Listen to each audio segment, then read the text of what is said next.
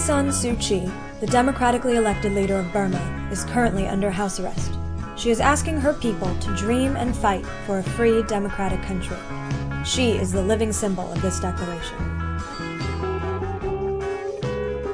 People deserve to know their rights. Please, ask your government to put this document, the Universal Declaration of Human Rights, into every passport. Please visit www.humanrightsactioncenter.org for more information.